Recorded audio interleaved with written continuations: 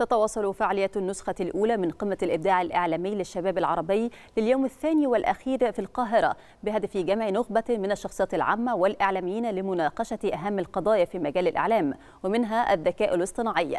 تهدف النسخة الأولى من القمة لتوفير منصة للتواصل وتبادل الخبرات بين المشاركين من مختلف الدول العربية.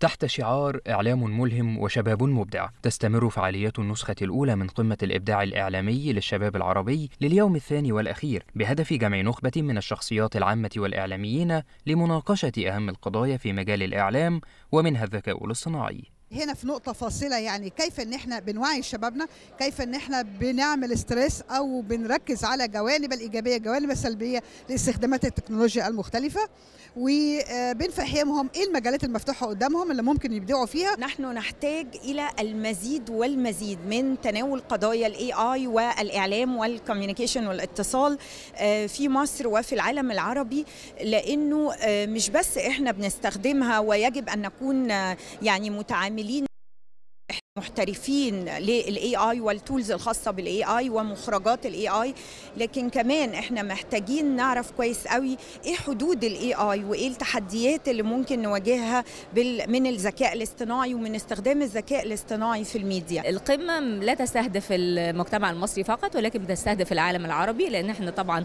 الأكاديمية العربية هي منظمة تابعة لجامعة الدول العربية.